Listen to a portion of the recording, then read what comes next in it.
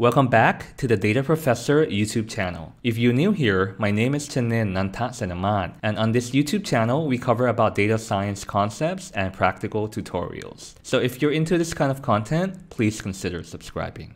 So a week ago on January 1st of this year, 2020, you might have noticed that I've shared a infographic entitled a one-page summary of the machine learning model building process on the Data Professor Facebook. And I've also made available on the Figshare.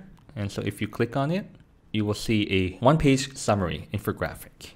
And so I posted this one-page infographic on some of the Facebook groups and it has received wide interest as there were more than 100 likes. And so this gave me an idea of why don't I make a video about the machine learning model process. And so thus this video is born.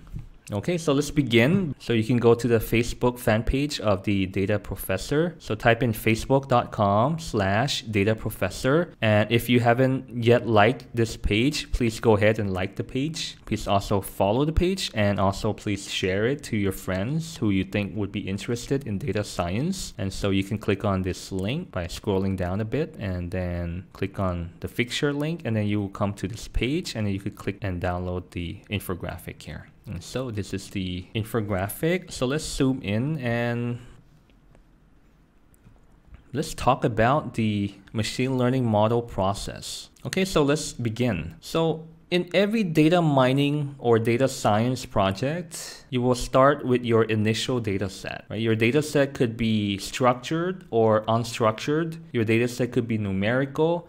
It could be what quantitative, qualitative, right? The data set could be clean, meaning that it will be having no missing values, or it could also have missing values presented in the data set. And so therefore you will have to clean the data set, pre-process the data set, curate the data set, and also oftentimes the variables might be redundant and therefore you have to perform some sort of feature selection, right? And in order to get a rough understanding of your data set, you have to do data understanding and you could do that by performing exploratory data analysis by using PCA or principal component analysis, self-organizing map, and you can also use basic statistics like looking at the distribution, looking at the scatter plot of the variables, looking at the histograms, looking at the minimum, maximum values, the standard deviation, the mean value, the median, the mode, right? The standard statistical approach. Okay, so once you have cleaned the data, curate the data, remove any redundant features, primarily when it has low standard deviation values, right? Like variables that are useless will have very low or zero standard deviation value. So in some of the project that we do, we also set like if the standard deviation is less than 0.01, we're going to delete that variable. And you can also implement something similar in order to remove constant variables or variables that are useless. And so the data set will essentially look like this, right? You have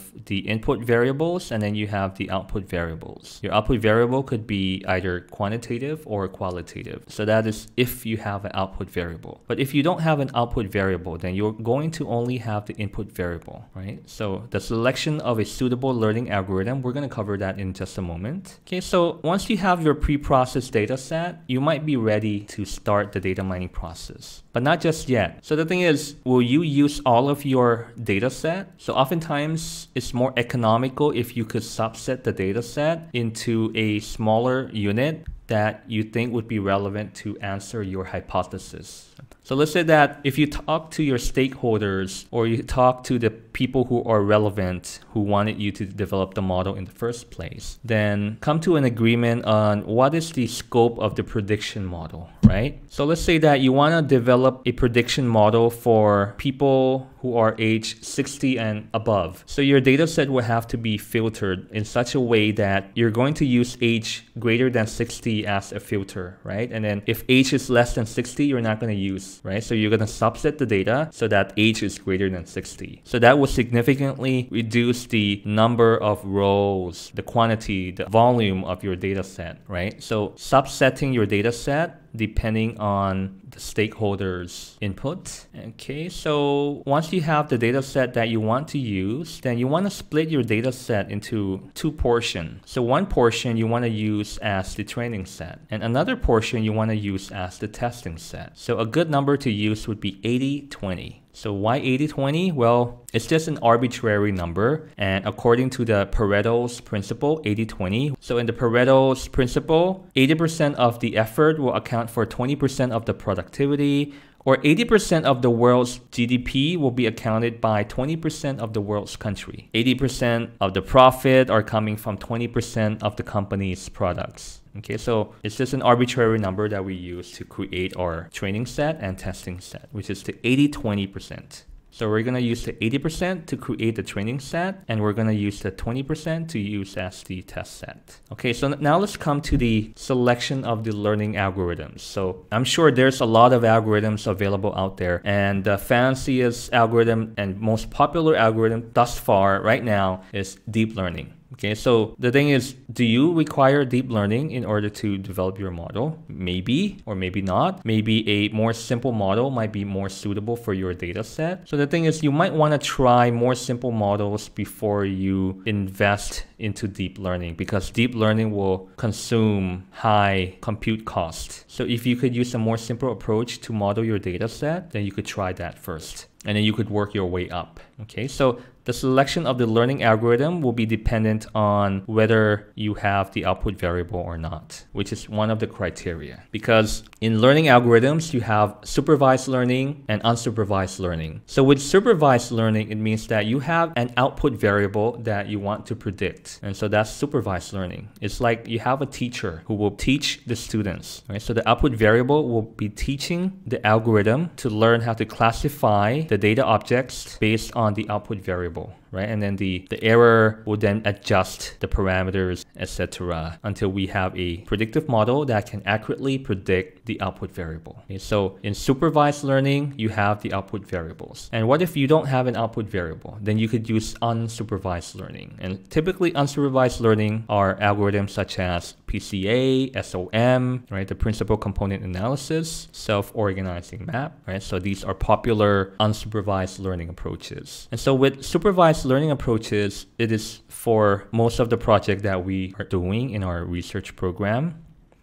And so with the supervised learning approaches, there are quite a lot, right? Support vector machine, deep learning, GBM, gradient boosted machines, k-nearest neighbor, decision trees, random forest, right? We like random forest and decision tree a lot because it allows us to interpret the important underlying features by means of the Gini index. Okay, so learning algorithm selection is dependent on which algorithm will be able to do classification and regression, right? So for a supervised learning, you have the output variable, and then the output variable will be suitable for classification or regression will depend on whether it is a numeric or a qualitative value. So if it's a numerical or quantitative value, then you could use regression. But if it is a categorical or qualitative label, then you're going to use the classification, right? And the classification could be binary class class classification or it could be multi-class right? Support vector machine could handle both regression and classification deep learning as well gbm decision tree random forest. Okay so that's part of the learning algorithm. And now let's hop on to this concept of hyperparameter optimization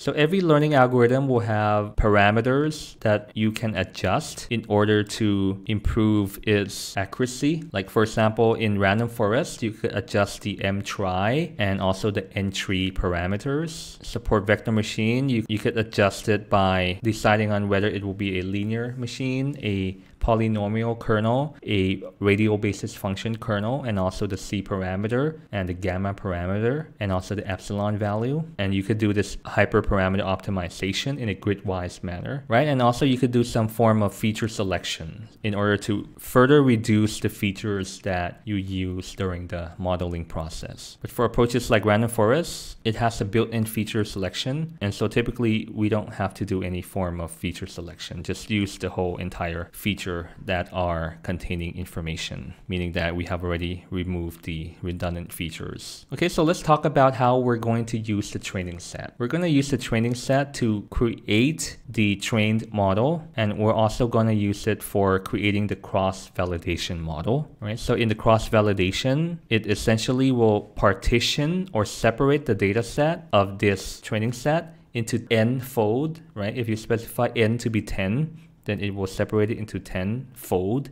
If you specify it to be 5, it will separate it into 5 fold. Fold would mean partition. So each partition will have roughly same number of data samples. So let's say that you have 150 iris flower. So if you have a 10 fold cross validation, each fold will contain 15 flowers. And so 15 random flowers will be assigned to each of the 10 partition. And in one iteration, one partition will be left out and the remaining nine partition will be used to create the prediction model. And then the prediction model will be applied to the left out partition. And so that concludes iteration one. And then the next iteration will then take the left out partition, move it back in and take a new partition out and then use the remaining nine to create a prediction model and then apply the prediction model to predict the values of the left out partition. And so we're going to do this over and over again until each partition will be left out at least one time and then and then the prediction accuracy will be averaged over the 10 iterations. Okay, so that's the cross validation. Okay, so once we use the training set to develop the trained model, the trained model could be used to predict the y values, right? The trained model could be used to predict the y values of the training set and also of the test set. Okay, and so once it makes the prediction, so depending on whether it is a classification or a regression problem, the model evaluation will have different metric. So regression has metrics such as R squared, mean squared error, root mean squared error. And for classification models, it has metrics such as accuracy, sensitivity, specificity, and the Matthews correlation coefficient, right? And based on the basis of these classification metrics or regression performance metrics, you would then decide whether your prediction is valid or is it robust enough. If it is, you can decide whether to deploy your model by talking to your your stakeholders. And if you are ready to deploy your model, then please refer to our other videos on how you can deploy your machine learning model.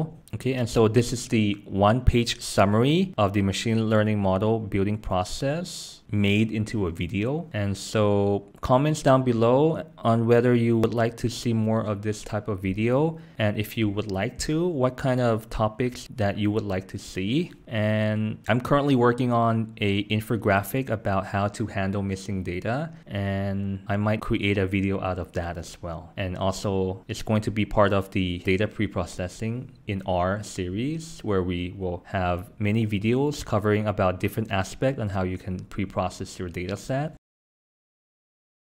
Thank you for watching. Please like, subscribe, and share, and I'll see you in the next one. But in the meantime, please check out these videos.